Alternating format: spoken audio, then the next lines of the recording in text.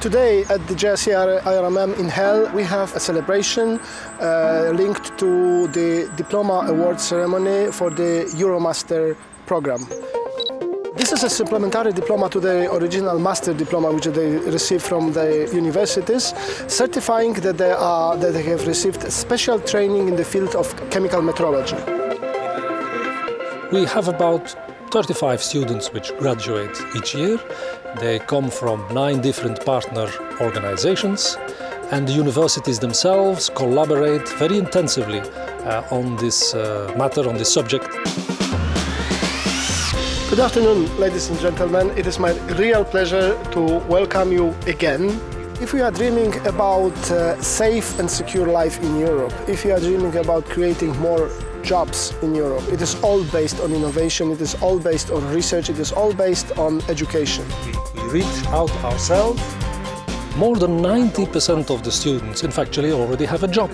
So this means that they decided to go for a topic, for a, a master, which gives them very good prospects for employability, which in this uh, hard-hit economic times is, uh, I think, a, a great asset. So we'll start with Slovenia.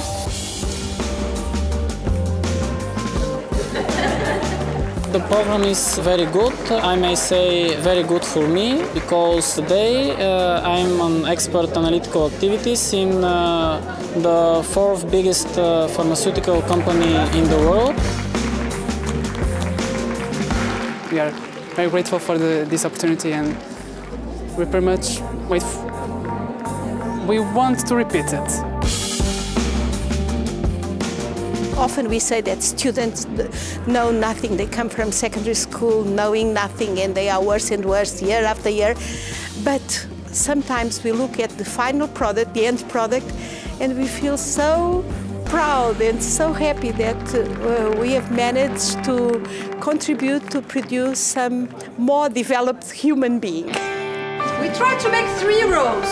You're finding a place? I have one for you here. I hope that who knows, maybe one day some of them will come to work with us, permanently or for some short-term stages. This is something what we are always open for. Uh, and we also hope them, who know us now a bit better, to be our ambassadors.